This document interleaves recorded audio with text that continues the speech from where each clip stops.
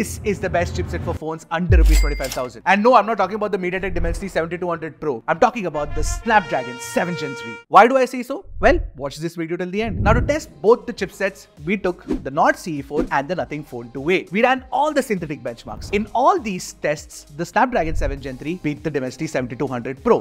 What's so pro about the Dimensity 7200 Pro? I don't know. Not just in benchmarks, we actually played Genshin Impact for 30 minutes and we got higher frame rates on the Nord CE4. The Adreno GPU is also better for gaming without throttling as much. But you know what? The chipset is not just about performance. Battery and camera are also dependent on the chipset. And the Nord CE4 has better battery life than the Nothing Phone 2a. In fact, with the Spectra ISP and OnePlus's tuning, we got really good photographs on the OnePlus compared to the Nothing Phone 2a. Whether it's raw performance, battery life, or camera, the Snapdragon 7 Gen 3 is possibly the best chipset for phones under Rs 25,000 right now. Do you agree or not? Let me know in the comment section below. For more such useful comparisons, subscribe to Trakin Tech English.